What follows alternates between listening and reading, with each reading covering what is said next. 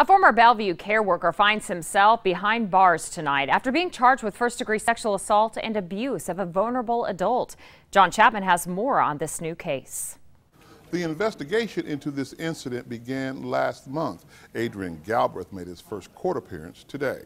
Police say 38 year old Adrian Galbreath worked here at Hands of the Heartland, an organization that supports individuals with developmental disabilities. He provided care for um, adults that had um, been ruled by Health and Human Services as vulnerable adults. So he would assist them in daily living activities and, and things of that nature, um, which is how he came to know the victim. Court documents allege that Galbreath took advantage of his client by having sex with the victim who was mentally or physically incapable of resisting. Police say they don't know if Galbreath had more than one victim. Of course, it's a concern um, whenever we have someone that commits these types of offenses, providing care for other individuals.